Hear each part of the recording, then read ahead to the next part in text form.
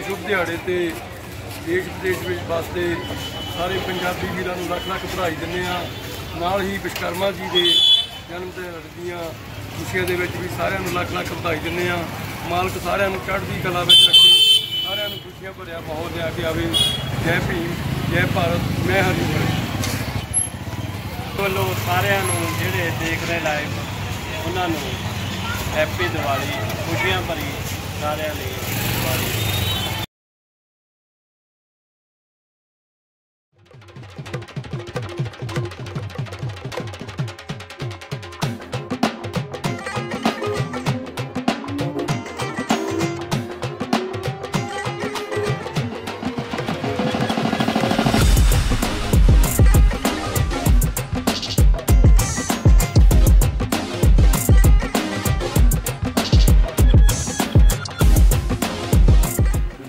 ਬਣਦੀ ਨਹੀਂ ਮਿੱਤਰੋ ਬਣਾਉਣੀ ਪੈਂਦੀ ਐ। ਗੁੱਡੀ ਚੜਦੀ ਨਹੀਂ ਅੰਬਰ ਚੜਾਉਣੀ ਪੈਂਦੀ ਐ।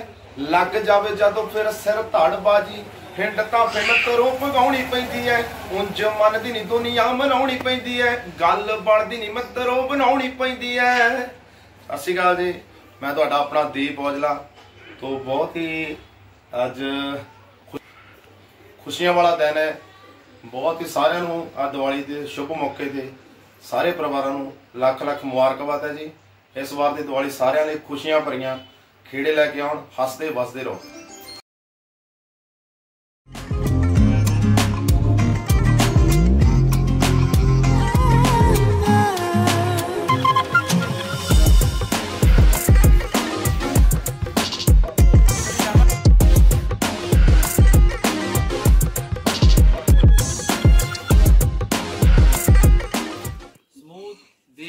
ਦੇਸ਼ ਅਹ ਵਿਦੇਸ਼ ਵਿੱਚ ਵਸਦੇ ਪੰਜਾਬੀਆਂ ਅਤੇ ਇਲਾਕਾ ਨਿਵਾਸੀਆਂ ਨੂੰ ਬੰਦੀ ਛੋੜ ਦਿਵਸ ਦੀਵਾਲੀ ਵਿਸ਼ਕਰਮਾ ਦਿਵਸ ਅਤੇ ਸ੍ਰੀ ਗੁਰੂ ਨਾਨਕ ਦੇਵ ਜੀ ਮਹਾਰਾਜ ਜੀ ਦੇ ਗੁਰਪੁਰਬ ਦੀਆਂ ਗਾਂਧੀ ਮਾਰਕੀਟ ਵੱਲੋਂ ਲੱਖ ਲੱਖ ਵਧਾਈਆਂ।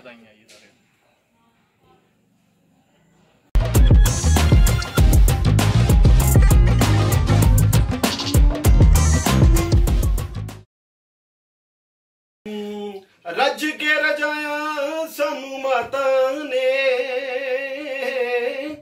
ਰੱਜ ਕੇ ਰਜਾਇਆ ਸਾਨੂੰ ਮਾਤਾ ਨੇ। ਚਰਨੀ ਲਗਾਇਆ ਸਾਨੂੰ ਮਾਤਾ ਨੇ। ਚਰਨੀ ਲਗਾਇਆ ਸਾਨੂੰ ਮਾਤਾ ਨੇ। ਹਾਂਜੀ, ਸਤਿ ਸ਼੍ਰੀ ਅਕਾਲ ਜੀ। ਮੈਂ ਹਾਂ ਜੀ, ਤੁਹਾਡਾ ਡਾਕਟਰ ਸੰਜੀਵ ਕੁਮਾਰ ਬਿਲਗੇ ਤੋਂ।